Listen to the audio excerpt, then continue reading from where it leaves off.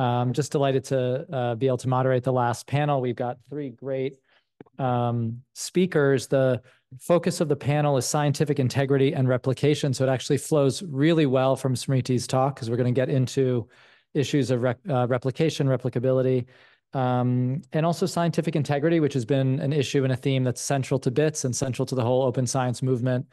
Uh, of course, um, we're gonna hear about some new developments in this space. Um, we're gonna hear, uh, you know, more from Don. I'm gonna give introductions in a second, uh, about uh, a pretty high-profile case that people may have heard of, um, in psychology, involving the the Data Colada team and um, Professor Francesca Gino, and the the issue there of fraud that I think got a lot of media attention. So, I think should be pretty, pretty interesting set of topics that really flow well. So let me give just some introductions, and then each of the panelists will get a chance to make some opening remarks, and then we can kind of open up a conversation and some questions. So, um, uh, Devi is Devi Prasad is a first-year PhD student at Emory, uh, with a focus on impact evaluation and water, sanitation, and hygiene.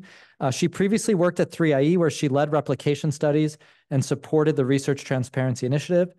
Um, and uh, she has an MPH from uh, Boston University and a BA in molecular and cell biology from here at UC Berkeley. So, uh, just so delighted to have her back here on campus. Um, Don Moore holds the Lorraine Tyson Mitchell Chair in um, Leadership and is a professor at the Haas School of Business here at the University of California, Berkeley. His research interests include overconfidence, including when people think they're better than they actually are, when people think they're better than others, and then and when they're too sure they know the truth. That seems relevant to a lot of situations. Um, he's only occasionally overconfident. I'm just reading what I'm given here. I don't know if that's true. Uh, and then last, Patrick Vu is a PhD candidate in economics at Brown University, uh, where he was awarded the George Borts Prize for Best Dissertation in the fall. Oh, in the fall, he'll begin as an assistant professor at the University of New South Wales in Sydney, uh, Australia. His research interests are in econometrics, with a focus on how publication bias impacts the statistical credibility of published research, uh, and the quality of evidence-based policy decisions. So we're gonna start actually with Don, who's gonna introduce the problem of scientific um, integrity in the social sciences, then go to um, Patrick, and then to uh, Devi. So that, that's gonna be kind of the ordering, and I guess we'll start with Don. I guess you have a few slides, right, Don? So... Thanks, Ted. Uh, I should begin by just um, uh, sounding a note of appreciation to Ted, to Grace, to all the folks at BITSS. Um, it is a uh, this is, day has been uh, an inspiration, and it's an honor to to um, be able to um, uh, uh, talk to you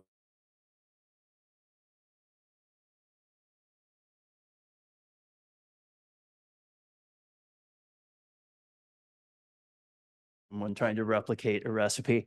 Um, that uh, for us to be able to do our jobs as scientists, for our science to be cumulative, we have to be able to replicate published results in order to build on them, and in order to correct the scientific record when false positives make it into the literature. So how does that happen? Uh, the quality of the evidence in the scientific literature is fundamentally uh, degraded by p-hacking, when researchers exploit undisclosed researcher degrees of freedom in order to inflate uh, the significance of their reported results, often to get the p-value down below the uh, statistical significance threshold of 0.05. More pernicious than p-hacking, though, is, of course, fraud, when researchers make up their data or manipulate data that they've collected in a way that to make it look um, more impressive than it actually is. Ted made reference to a particularly high-profile case at the moment, one that I am painfully and intimately connected to. Francesca Gino was my postdoc at Carnegie Mellon. And the evidence of fraud in her published work was identified by my friend and office neighbor and uh, colleague at Haas, Leif Nelson. Um, when uh, so so the uh, the Data Colada folks um, took up the the Gino case when a whistleblower came to them and asked them. There's a, a long back and forth between them during which uh, the whistleblower brought evidence. The Data Colada folks pushed back. Um, they uh, worked really hard to get raw data files. Um, went through them in some painstaking ways that they document on the Data Colada website.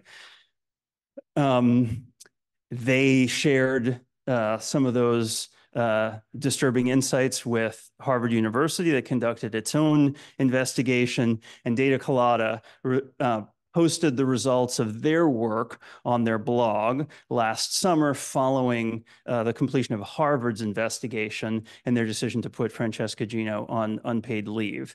Uh, Gino then uh, turned around and sued Harvard and Data Colada uh, for wrongful termination and defamation, uh, asking for 25 million in restitution. Some of you may have seen the GoFundMe campaign that some of us organized to help Leif and Joe and Uri pay their legal bills to defend themselves against the charge. Um, it is, of course, an existential threat to the academic freedom that all of us depend on in order to be able to engage in respectful dialogue with one another about scientific facts without fear that we're going to be sued or that the scientific conversation is going to be complicated by involving attorneys in the legal system.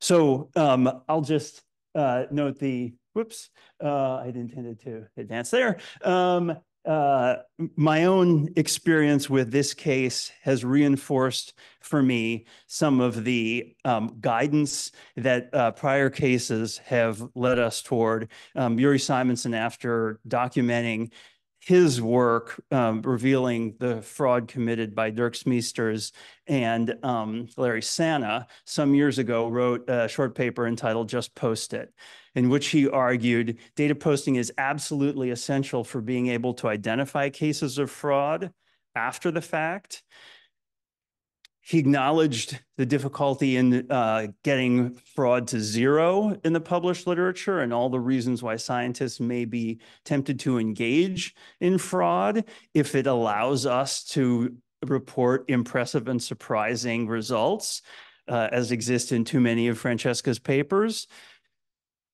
Um, if we uh, if some of those results do make it into the published literature, at the very least, we'd like to be able to identify it after the fact. And posted data increases our probability of doing that. Looking back on my collaborations, I wish I had insisted on having more details, on having all the raw data, on having it posted.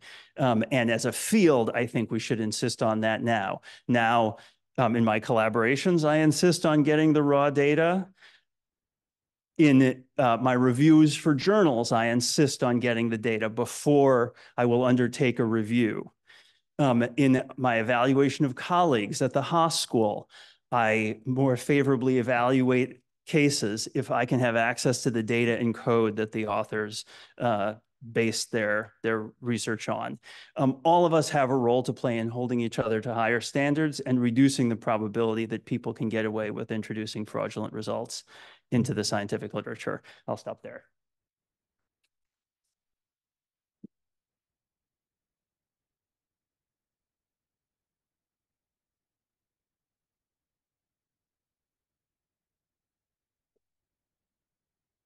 Hi, everybody. So I'm going to speak very briefly about uh, some of my work on replications, trying to answer this very simple but important question, which is why are replication rates so low?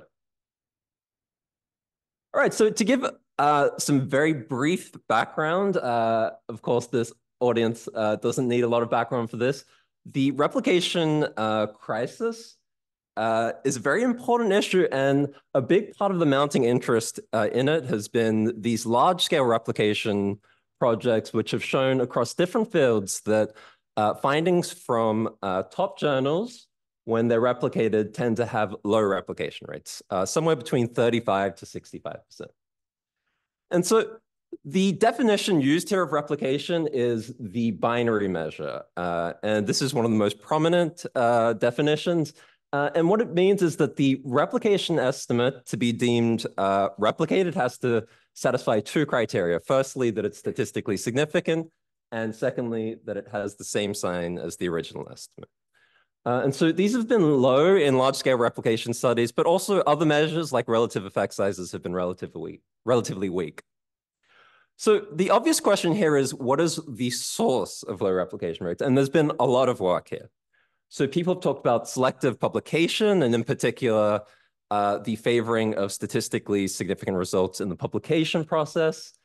Uh, a separate but related issue is p-hacking, that is conscious and unconscious uh, behavior efforts to try push results towards uh, those that are more publishable. Uh, and also something that's been talk spoken about a lot is heterogeneous treatment effects. Uh, when I run a replication, am I in fact testing uh, the exact same question? Maybe conditions are different, maybe samples are different. Uh, perhaps this accounts also for low replicability. And so what I'm doing in my paper is to actually ask about uh, something a bit different, which I think has received less attention which is how might replication design itself contribute to low replication rates? And I'm going to focus in particular on two features. So the first is selection on significance. And in particular, uh, in most replication studies, only statistically significant results are selected for replication. So what's the problem with this? Well, if you're selecting samples based on any extreme characteristic, whether it be height, test scores, or statistical significance, it uh, mechanically, what you're going to have is that you're going to get regression to mean to the mean in repeated samples. Okay, and this goes back to uh, all the way to Galton in the 19th century. So uh, it shouldn't be surprising uh, that replication uh, effect sizes are actually smaller than original effect sizes based on the way replication studies are typically not always, but typically designed. A second more subtle issue, but the one that turns out, turns out to be very important is how replication sample sizes are set. And so this is done very differently across different replication studies, but a very common approach is to try to detect the original effect size with some pre-specified power level, say 90% or 80%. And one issue with this method, which is uh, not obvious, but it is important, is that the power function is actually nonlinear in effect sizes. And when you don't account for this, it turns out that replication rates are going to be lower than you expect. And so what I do in this paper, uh, firstly, theoretically, is to show that these two issues combined imply actually that the expected replication rate is always going to fall below its nominal target. Uh, and so say if the uh, nominal target is to uh, detect original effect sizes with 90% power, in expectation, replication rates uh, must fall below this nominal target, irrespective of whether there's publication bias or treatment effect heterogeneity. So in some sense, this means that observed replication rates are a bit hard to judge against uh, the target that's actually given for them. All right, so that's the more theoretical part of the paper. And the second part of the paper uh, asks, I think, uh, a very important question, which, which is, does this even matter empirically? Uh, what happens in practice? So I take a look at three large-scale replication studies uh, in economics, in psychology, and in social science. And I use an empirical model uh, from another paper, which is looking at publication bias, and what I do is I generate, I show that you can generate out of sample replication predictions, only accounting for these replication design issues. Uh, it's out of sample in the sense that this estimation of this model is only using original uh, data. It doesn't use the replication data, which it's trying to predict. And so to be a bit more uh, precise, the null hypothesis that I'm testing is whether the replication rates we observe in practice can be explained by these two issues that I've highlighted. Uh, and in particular, the model uh, does not include p-hacking, doesn't include treatment effect heterogeneity. And so here are the results. So let's take a look first at uh, experimental economics. So the nominal power given was 92%. The observed replication rate was 61%. The predicted replication rate, remarkably, is very close at 60%. we see something uh, fairly similar in social sciences, which is that the observed rate is 57% and the predicted replication rate with the model is 54%. And so in these two cases, we can't reject the null hypothesis that uh, in economics and social sciences that these two issues can actually account by themselves for observed replication rates. Of course, you can see that standard errors are fairly large, so it doesn't mean these other things are not necessarily happening. Uh, but the point estimates are actually pretty uh, close, which is surprising, I think. Uh, lastly, if we look at psychology, the uh, target is again 92%. The observed replication rate uh, is 35%, whereas the predicted replication rate is around 54. So uh, in this case, the model does less well, which suggests that something else is going on. The, the model's uh, not necessarily uh, fitting the data as well. And so just for a final comment, I, I want to say like something about how we should interpret this result. So the first thing is that these two issues with replication design, at least in these specific studies, uh, look like they're empirically uh, important. Uh, and the second thing is to think about what it's actually saying about original studies. So uh, it turns out that both of these issues interact very importantly with the power of original studies. And in particular, they're much worse when the power of original studies is very low. And so part of what you're seeing here uh, in the low replication rates is the fact that original studies are relatively underpowered. And so uh, that does say something about the uh, credibility of the original studies being replicated. and with that, I'll end and pass it to Devi. Thanks.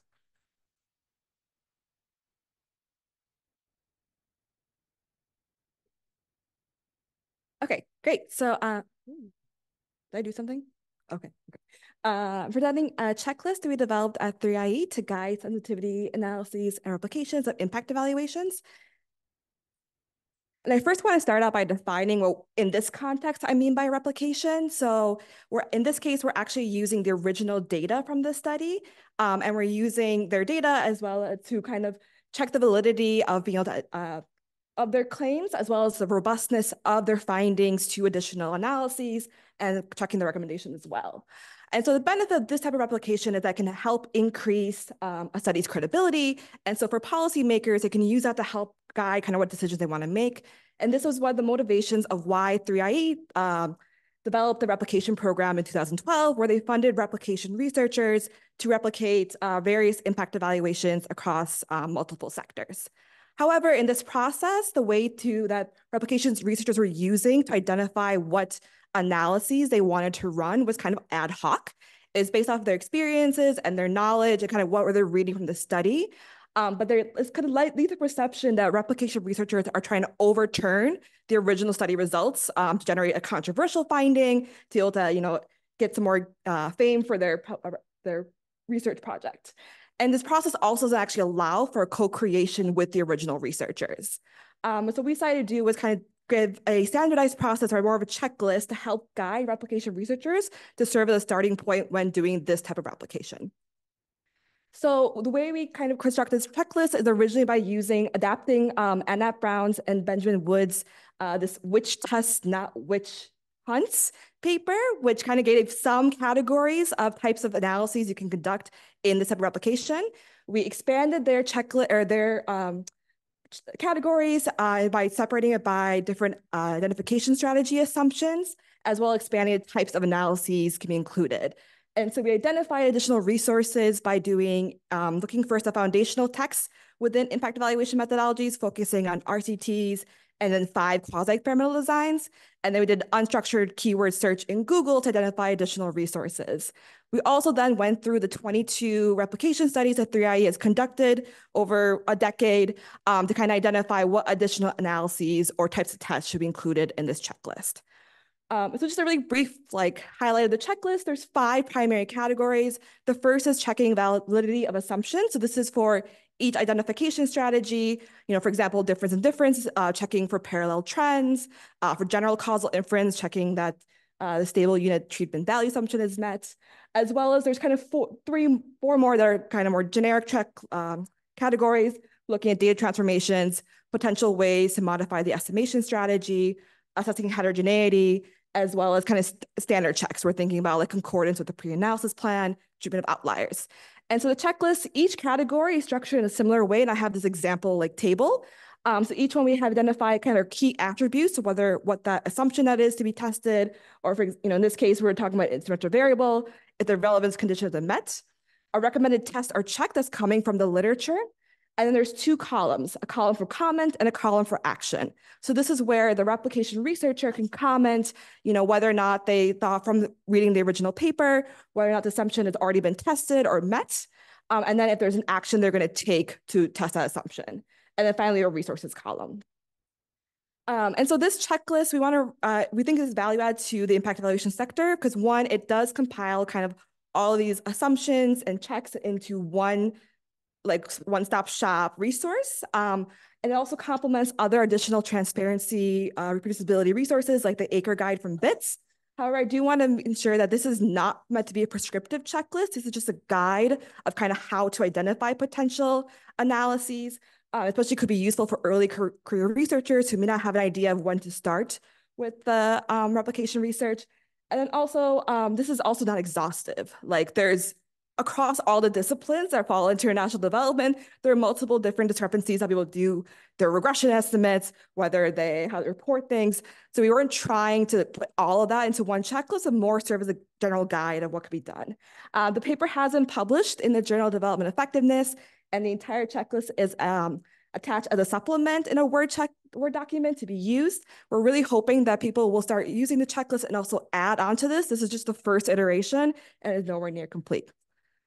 I also just want to acknowledge my co-authors as well as my team at 3IE who did the project management and got Gates to fund us for this. Um, and that's it. Thank you.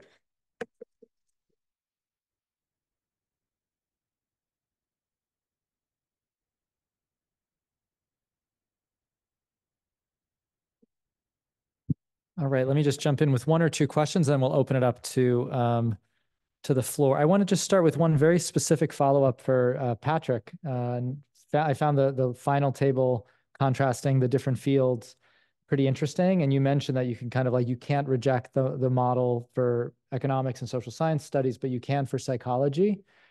And you kind of left it there, but is that just so I understand, is it is the implication that um, publication bias is the reason for the difference? Or I, I just wanted. I was thinking of Smiti. I, I mean, I, I'm wondering. If I was just going to say, it really feels like this session and the previous talk fit together pretty well. But you you were hesitant to maybe go beyond that. But if you were to speculate, could you tell us more about the possible reasons for that gap? Yeah, I think there's. Um, well, I won't say anything original. I mean, going to the original um, uh, open science collaboration paper, they do make their own speculations that there's very vastly different uh, replication rates across fields. In particular, social psychology has it uh, a lot lower. They also tested many more interaction effects, which tend to have lower power and therefore low replication rates. So I think these are two uh, possible reasons uh, that the model doesn't fit as well. Um, of course, another thing is that the null hypothesis is also testing the model itself, and perhaps you know there's parametric assumptions in that model. Maybe it, it doesn't fit as well. Uh, so it could be the model itself uh, that's accounting for that. Don, do you want to? Yeah, please. Yeah. Yeah. Please. Um, so I wonder if you can uh, comment on um, uh, Uri Simonsohn's small telescopes perspective on what qualifies as a successful replication. So uh, in in our defense, I would just uh, uh, mentioned we, we uh, use that as inspiration in powering the replications that Smiti talked about using two and a half times the original sample size mm. in the uh, hope of being able to ask the question, does the documented effect size that results from the replication, is would that have been detectable by the original study?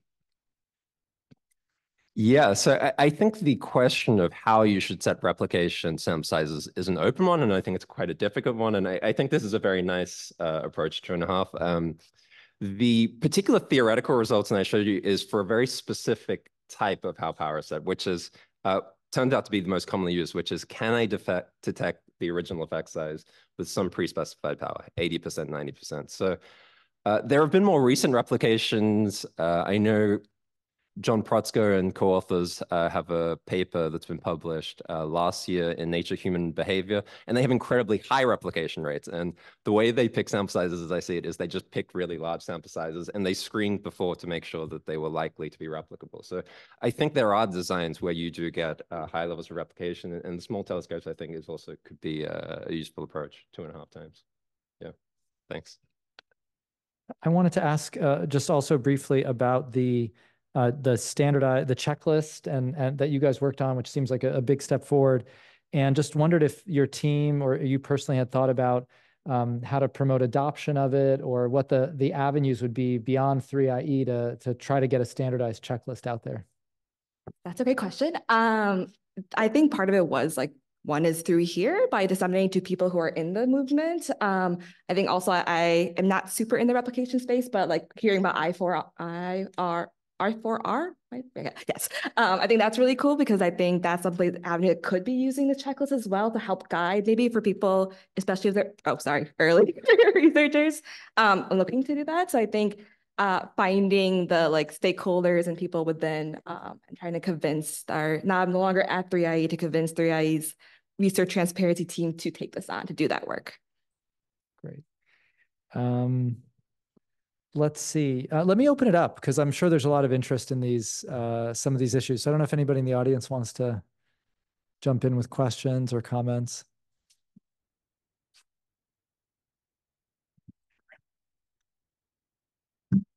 Just a question for Don, I guess. Um, you talk about kind of the painful and, and difficult aspects of this.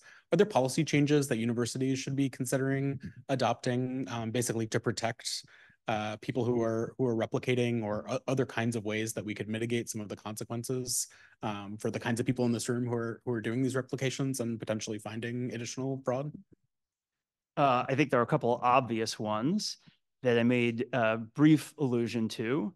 Uh, one is to um, reward the hard work associated with um, correcting the scientific record. Um, so uh, science is self-correcting, uh, as James Heathers has noted, not because of some magical and mysterious autocorrect function. Science is self-correcting when scientists correct it. And uh, that is uh, painful and time intensive and costly work. And uh, um, if we are to uh, be proud of our replicable and cumulative science, the field, our universities, and our journals need to reward that activity. Um, uh, on the other side is uh, good scientific practice that is less likely to introduce false positives in the literature. We should be rewarding people uh, and research programs that follow high standards, that pre-register, that post and share their data and code, that whose results are replicable. Scientists were replicating their own results and making it easy for others to replicate their results.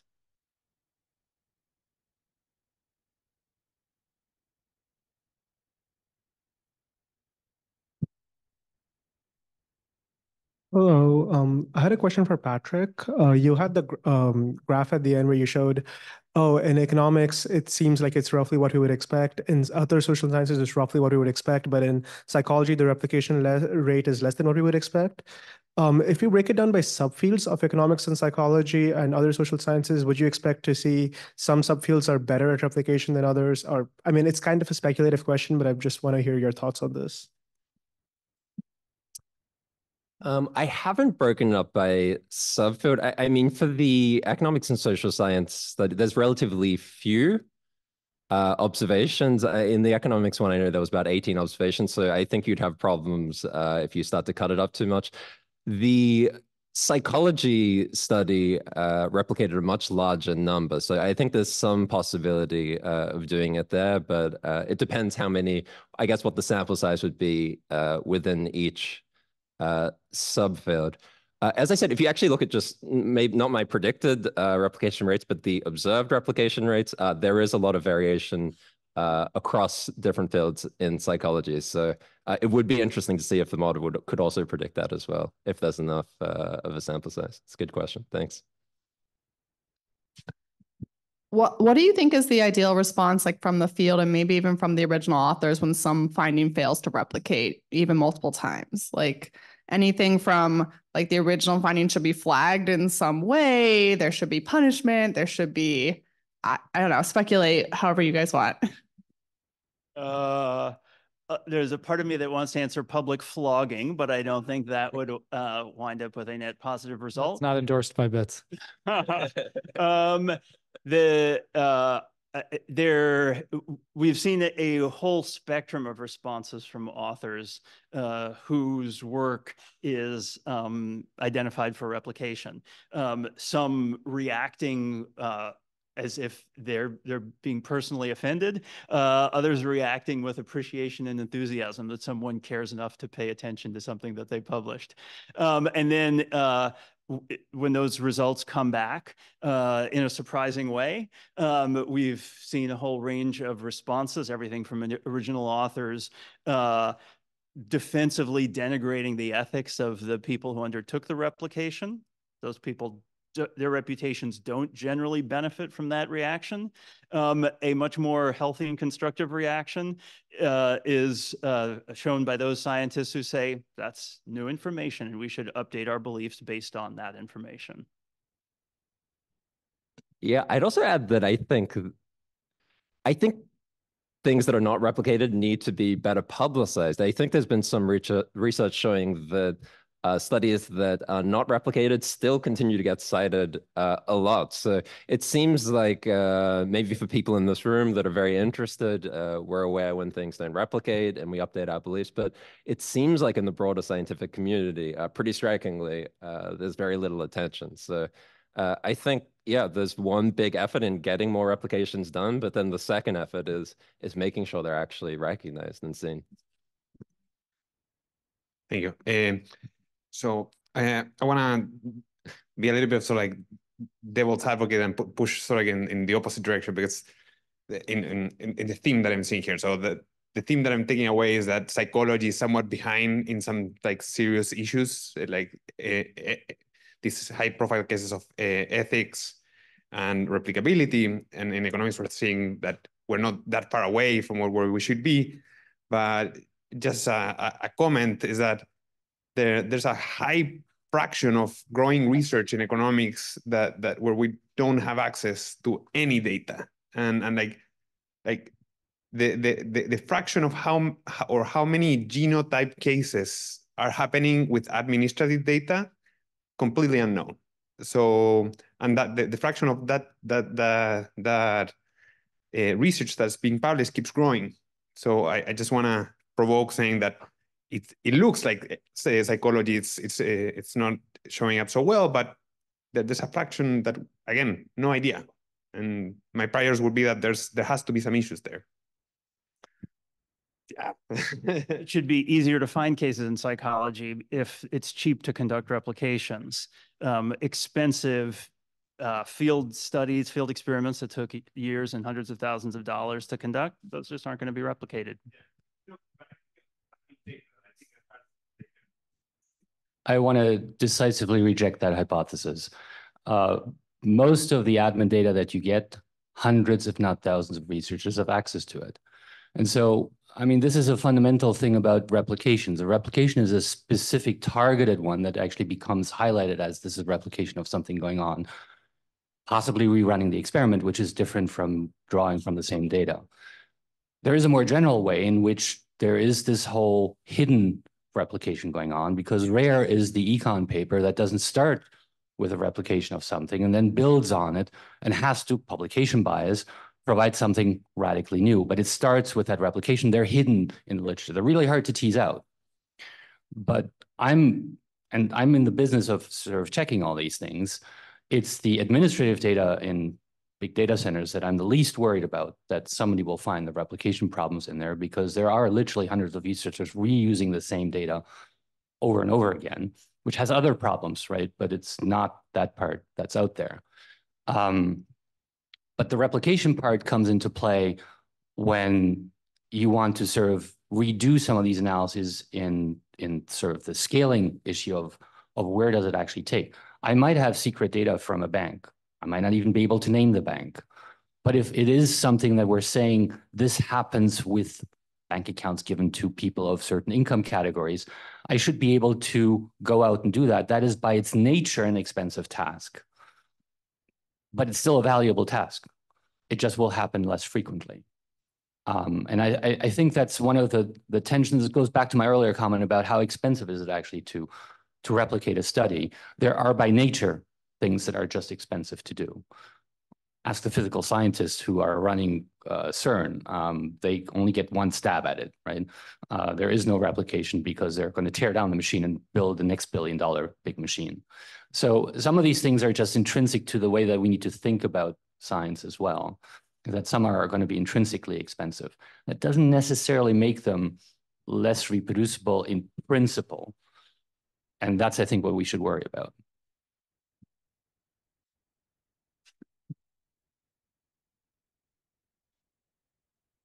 What other? Yeah, great. I mean, this is this is great. I think it's my own view on that is it'd be good to have solid evidence on it. I mean, both both points are well taken. Um, Kevin. I'm just jumping in here because there's this lull, but I was just I was trying to think about um, you know, all of our concerns really revolve around hypothesis testing, and most of it is, you know, frequentist uh, null hypothesis significance testing, right? But you know, as uh, machine learning methods get more popular, where really the method kind of builds in a validation and it's focused on prediction out of sample, does it does that like fix things? Is it better? Are we better off uh, just switching over to using more kind of data science and machine learning approaches and just giving up on hypothesis testing? I'll give my take and then I'm curious what the panel thinks about that. But having in, in a couple projects started using more machine learning tools, both to create uh, estimate conditional average treatment effects, but also for prediction. Uh, different uh, machine learning approaches under different assumptions with different training data and different features give really different results. So the notion of sort of selecting the model to fit your prior doesn't go away as much as we'd like it. At least that's my take on some of the machine learning uh, methods. But I don't know if people on the panel have a view on this this question. Yeah, you want to go? Oh, I was going to say uh, with machine learning, method, as you said, the predictive exercise is uh, perhaps answering different questions to a causal question. So I think it depends a lot on the question you're interested in. And so I, am not sure, maybe machine learning methods could supplement uh, getting uh, a good answer to a causal question, but I'm not sure they could uh, replace it. Yeah. Yeah, I think it's also echoing what the, I think there's so many assumptions built into it when you're building your model that like there's still you need to when you're doing replication of it, you're like I think there's a lot more testing we still need to be doing on the machine learning model itself to make sure that when we're actually replicating it later, we're meeting those same assumptions as well. So I think there it's not necessarily like a solve all solution yet, or maybe in the future will someday.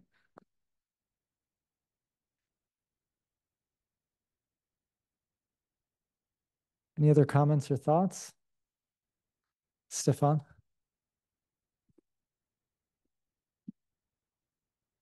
Yeah.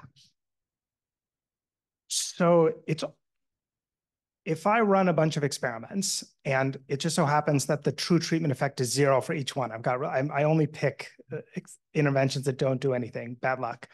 I'm gonna get it's it's almost a statistical inevitability that I'm gonna get false positives, right? And if I am testing really risky interventions, this might not necessarily be bad for science to test interventions where a high fraction of them um, are uh, don't really do anything.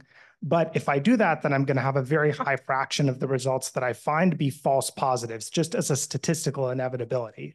And that means that when people try to replicate my stuff, then it could be that I have a very low replication rate, even if I'm doing really, really good work. So my question then is how can we, and I would hope that I'm in an environment where um, I'm happy when people replicate my work, even if I know that only a small fraction of these risky studies are actually going to have the results replicated. So then the question for the panel is, how could we create an environment where that's safe, where it's it's safe to try things, to occasionally get false positives as a statistical inevitability, to have those false positives fail to replicate, but for this to to be okay and to still incentivize people to uh, to carry out these experiments. Is this making sense?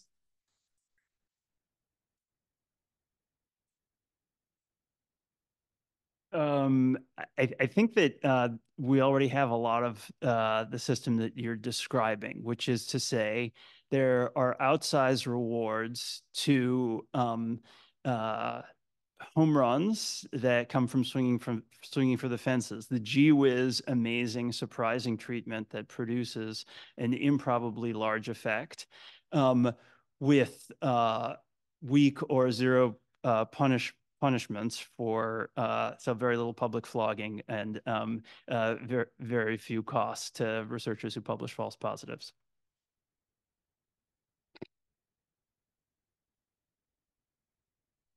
All right, I think we're at time, so maybe we'll thank our panel.